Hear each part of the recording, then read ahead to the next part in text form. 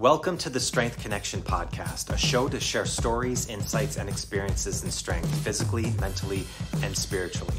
I'm Michael Kurkowski, host of the Strength Connection, and I'm so grateful that you can join me today. So, in these episodes, I connect with some of the most inspiring and successful individuals to chop it up and learn from true life experiences that have helped them become who they are. So, let's dive in. Here we go. All right, and we're live. What's up, guys? Thank you for joining me. Welcome to the Strength Connection podcast.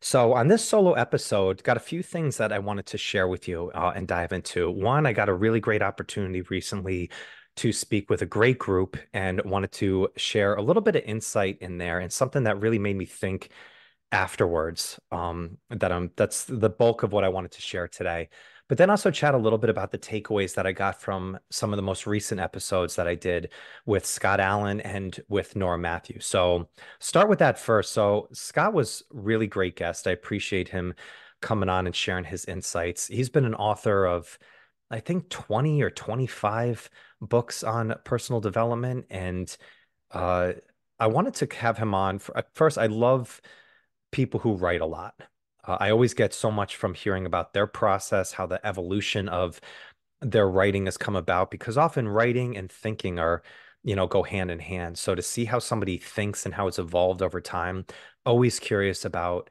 you know, their personal experience with that. And, you know, the biggest takeaway I got from Scott is, I mean, he came uh, on the podcast from Japan. He lives there. He's been living there for, you know, a decade plus, I believe. And just the way that he had specific things that he was hoping to do in his life and just jump feet first in, just dumped into the dive in, uh, into the deep end, not knowing whether it was going to work out or what the experience was going to be like, but just felt that it was right.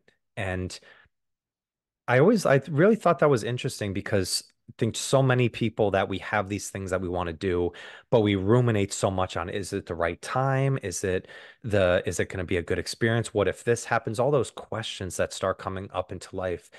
And the big takeaway I got from Scott is like he just jumped in and just started doing it. Didn't really know what he wanted to to write about, but just started working with it, just diving into it, putting it out and seeing what came about. And then from there, has built something that he absolutely loved and is a great success um, in the work that he does. So that was really the biggest takeaway I got from just hearing Scott's personal experience about just going after it with the best intentions that you can, hoping for the best, and then just figuring it out as you go along the way. You know, it's kind of a tale as old as time, but those stories of people experiences that have done it never get old for me. So that was the big one that I got from Scott Allen. And then having Nora on, uh, Nora Matthew was an absolute privilege. I was so pumped to chat with her. Um, you know, Nora's an elite StrongFirst instructor, so we have a kinship in that time. We're also very close in proximity to where we live, which is interesting because in upstate New York, there's not so many of us. There's, you know, really only a handful.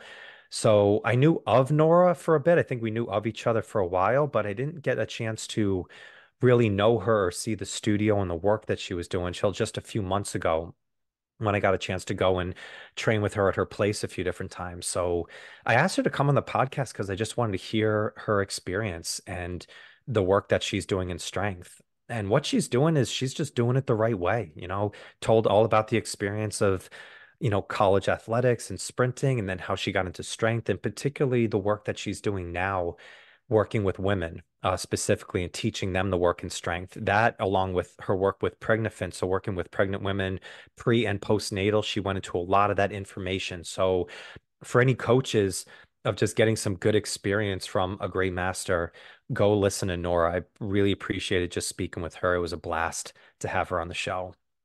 So, recently, this was something I've been thinking about uh, quite a bit. And the first time I remember hearing it was from Aubrey Marcus, he talked about the difference between a person and a persona. And I think it's so easy for us to speak through a persona or how we want to be portrayed versus the actual person of who we are you know and i'm going to give some context behind it but i just wanted to bring that up uh, to begin with because this came up in a recent experience i had speaking at a local college i got asked to speak with student athletes at uh, a college near me, Skidmore College. And this was with all collegiate athletes. And they asked me to speak about the concept of overcoming overwhelm and stress. So, really on the mental side of strength, not just on the physical. So, I wanted to connect those both together um, and put together a presentation of a lot of different practices, things that they could leave uh, that seminar going in and implementing right away. It's a lot of things I've talked about on this podcast solo, as well as with a lot of guests and a lot of the work I do just in coaching in general that I've been doing over the last decade. So, first off, going into it, I love working with student athletes and just because of the time frame that they're in in their lives, you know, and I think it's something that can carry on into adulthood so much because at that age, there there's a lot of demand on their plate, and it's also probably the first time at that age that you are dealing with a lot of different things, you know, from practice and games to schoolwork of managing new friendships, relationships, also planning for your future. Like there's a lot on their plate. And at that experience level in life, they don't have a lot. So it can be very easy to get into that overwhelm, that anxiousness, and feel very stressed. So I understood the concept of what they wanted me to speak about, but I wanted to bring this up right away with them is to think about eliminating overwhelm and eliminating stress. What I've learned in all the experience that I've had of speaking with great coaches on the podcast, as well as just in my personal experience in my career, is you're never going to get rid of it. Life is chaotic and it's always going to be that way. Okay. Doesn't mean there's not going to be degrees and variance in there. But this idea of eliminating stress and eliminating overwhelm, I think is complete bullshit. And if you're an adult and you're listening to this, you know that. Like if I told them, if you think you're, if you think time is demanding right now, wait till you get out into the real world and you have a job, you have a family, you have a lot of different obligations and people pulling at your time. Like that is, you know, you're just at the beginning of it right now. And I think to be able to implement practices for self care and to spend some time on yourself when you're busy and when you don't have a lot of time, that's the best time to do it. When you've got a lot of time that is already committed, to be able to put into practices that are really best for you and check in with yourself before you check in with the world, that's a skill set like no other because there's going to be times of ebbs and flow. It's going to be more open at times, but then it's also going to be really demanding at times. And I know so many people that I've spoken to in my career who kept waiting on that one day when everything's going to line up. It's like one day I know I just got to get through this time of the year and then I'll be good to go. I just got to get through this and then I'll be ready to commit to this. And then eventually they realize that that time never comes. They're never fully ready for it till they just have to dive in. And the one thing that they always say once they've seen success and they started implementing this is, I wish I did this sooner. So I think that was a message I wanted to get out. And I wanted to share it here on the podcast of do it when you're busy. You know, like do it when your time is already stretched and figure out a way to put it into your schedule. And if you do that, then you're always going to know how to do it. And it's going to be a skill that you can develop regardless of what else is going on in life. So afterwards, it was a great seminar. And there were some questions afterwards from the kids, really good questions. But one of them stuck with me, and I wanted to share it here. And it was from a young man who was about to graduate. And he asked me just plain like, do you do you practice all of these every day? And I went over six or seven practices that you know you can do for working on your self-care, your mindset, the physical side, all this different stuff. So it's a lot and he didn't say it in a combative way at all like there was definitely just very curiosity in his in his tone. And i answered it i was like you know like i work on you know a few of these religiously every day. I've worked on all of them together and i try and manage my time so i can get all of them at all different times. You got to make time you got to figure out when to get it in and just put the reps in put the volume in and then you'll figure out what works best for you on a day by day basis. I didn't think it was a bad answer but it didn't sit well with me. And what I realized afterwards, I thought about it and I was writing a little bit about it. And I was like, why didn't this sit with me well? And I realized that that was a really great opportunity to sit back for a second and to be a person rather than give the best answer that I thought he they would want to hear. And I think the answer wasn't bad, but it wasn't exactly what I was feeling. What I was really feeling at that time is, dude, I struggle with these still to this day, every day.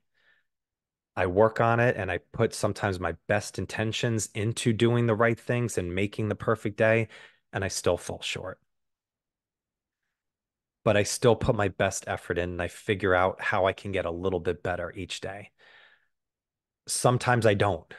Sometimes I just want to say fuck it and I just want to throw it out to the side. And sometimes I do.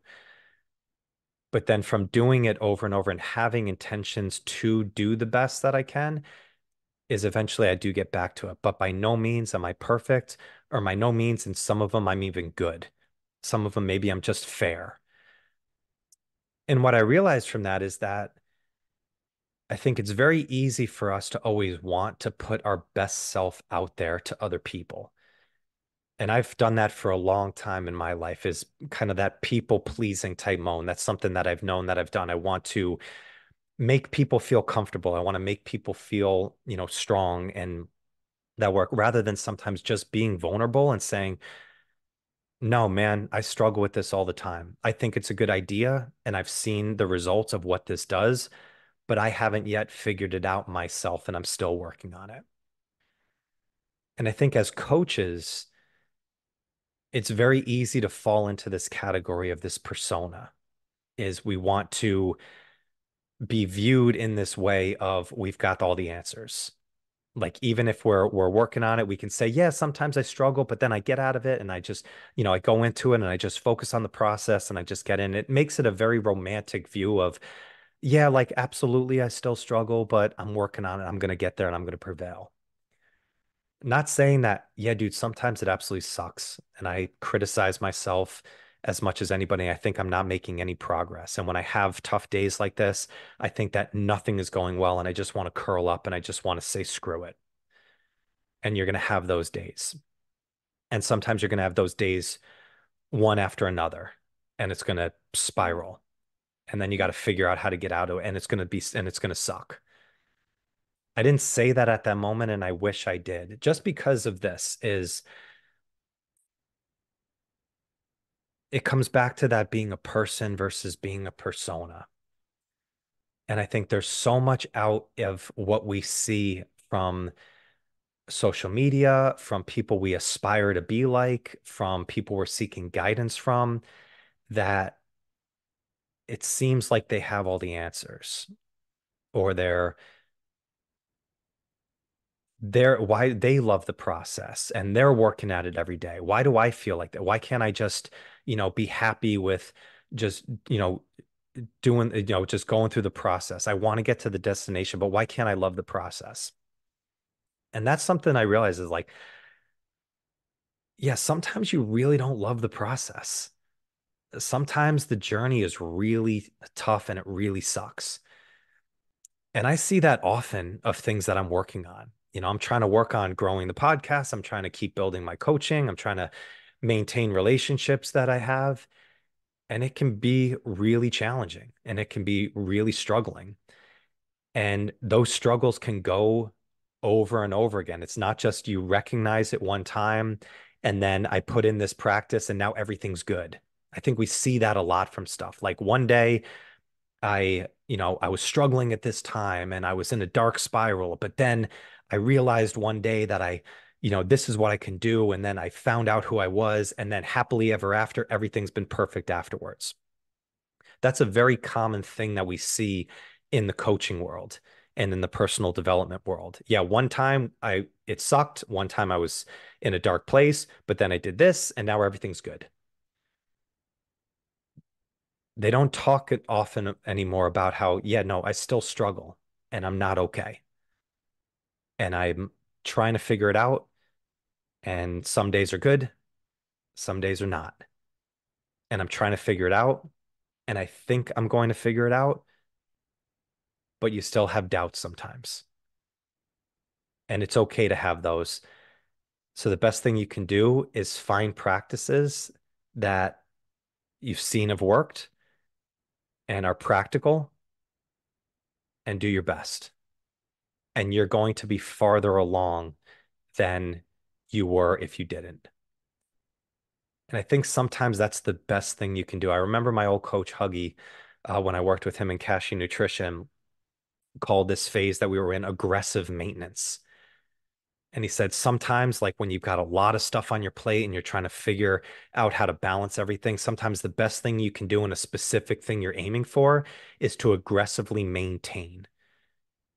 Okay. It's kind of like putting it on cruise control. You're not really excelling at different times, but you're staying idle where you at. Sometimes that is the best that you can do. So when more times open up, then you're ready that you can make another leap forward. And I wanted to bring that up is because I've seen so much of people. And when I say people, I mean, I've done this myself and I still do this and I trying to work on it is putting on the persona of who we want to seem portrayed as and who we want to be viewed by other people as. And not actually just being raw and just being vulnerable and saying yeah you know what? Still struggle a lot. And i'm working on it but it still comes and it sucks. But i'm going to do my best and i'm going to figure it out and that's the best i can do and that's what i hope that you do too so I just wanted to bring that up and just share that of specifically if you're a coach and you listen to this, to almost ask that question when you're putting information out there or you're speaking with people is, am I speaking through a persona or am I speaking as a person? And that's a question that I'm asking myself a lot right now of what lens am I seeing this through or what voice am I portraying this through?